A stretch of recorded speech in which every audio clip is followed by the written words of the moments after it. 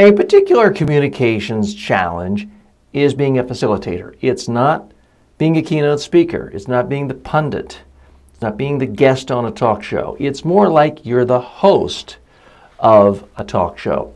If you've been asked to be a facilitator, realize what your job is. Your job is to put a spotlight on other people's ideas, have the ideas come up, let everyone have a fair hearing, keep things running on time, be the gatekeeper, and if possible, without seeming biased, try to synthesize the best ideas so people have a sense of what was accomplished during the panel discussion or the conference.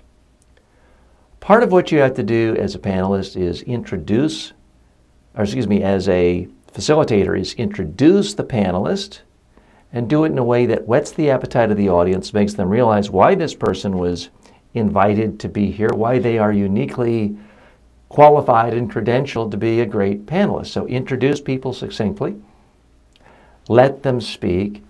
You've got to watch the time so they don't go way over. At times it may be appropriate to do a quick summary of what was said, introduce the next person, and keep it going.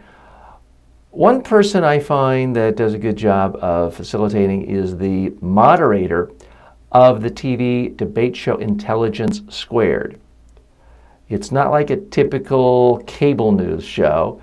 It's more of a traditional debate where you have a moderator and it's really very similar to being a facilitator. Facilitation can be a great way of bringing together varying parties who have different views.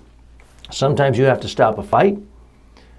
Sometimes you have to let someone know when they have stepped out of bounds.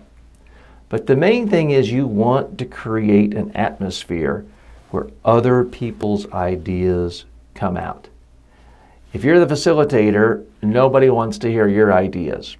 It's your job to put spotlight on others, occasionally summarize, occasionally synthesize, and create the greatest number of new ideas put out for the whole group for everyone to think about and digest.